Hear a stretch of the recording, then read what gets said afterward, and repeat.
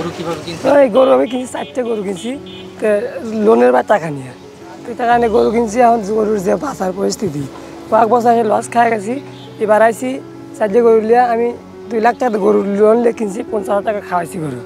তো খাওয়ার এবার যদি এবারও এই লস যায়, তাহলে আমার ঘর বাড়ি যা আছে বেচে এই ঋণ শোধ করা নেই আর যদি লস স্বাভাবিক দাম যায়, তাহলে কিছুটা বাঁচবো।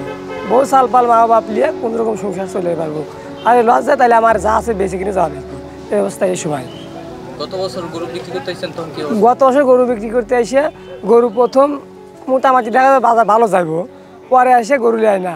হাইতে হাইতে দিয়ে দিয়ে চলে গেছি। সে বছর খুব একটা লস গেছে আমার দুই লাখের মতো লস গেছে।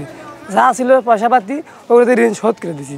এবছর যদি যদি লস যায় তাহলে ঘর বাড়ি বেঁচে শোধ করা লাগবে তাছাড়া আর বুদ্ধি নাই। এই যাহাইরেই ঈদের দুই একটা তিন দিন পরেই লোন শোধ করে দেওয়া লাগবে। বিরাট সময় দিতে লোন নেওয়া সব। গত বছর কয়টা গরু আনছিলেন চারটে আনছিলাম। আমি চারটে করে পালি। এবার? এবারে চারটে আনছি। নাম কি? আমার নাম ইব্রাহিম খলিল।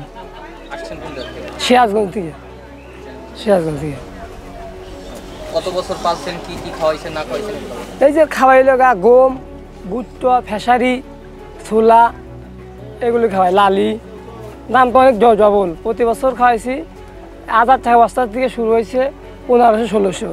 আর এবছর হাজার টাকাতে শুরু করে বাইশশো তেইশশো টাকা পর্যন্ত খাওয়াইছি বস্তা। তা থাকে তিরিশ কেজি বস্তা।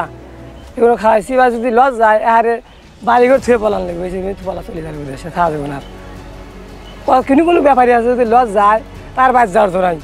এমনি এই শহরে হারিব জায়গায় জায়গায় কাম করে খাইব। তার আর বাড়তে যাইব না। এই যদি গত বছরের মতো হওয়া যায়। আপনার চারটা গরু কত কতদিন আগে কিনছিলেন কত বছর পালছেন? এই গোটা নয় মাস আগে কিনা চারটে করবি নয় মাস আগে কিনা নয় মাস আগে পুষেছি না কামাই করছি, কামাই করে খাওয়াইছি। তারপরেও কামাই শাড়ির বাড়ি নেই, তখনই দোকান থেকে বাহি করে করলে খাওয়াইছি। এই গরু বেশি ঋণ শোধ করা যায়, বাহি শোধ করা লাগবে। এই অবস্থা আবার আসি তারপরে থা, মা কষ্ট, পানি নাই ইয়া নাই ওজা নাই মশার কামড় থা যায় না। অবস্থা চলতেছি।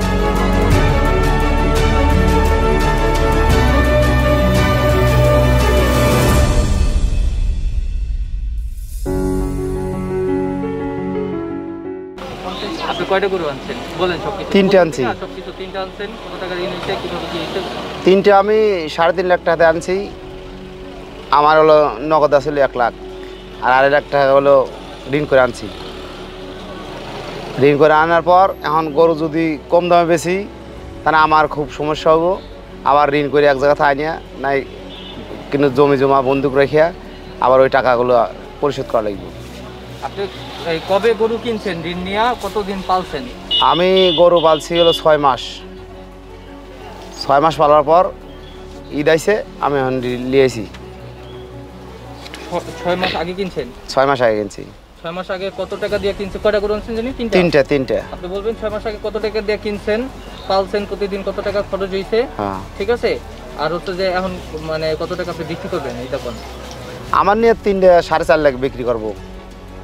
এখন তো সাড়ে তিন লাখ আমার খরচ। এখন আল্লাহ কত দিব আল্লাহ জানে।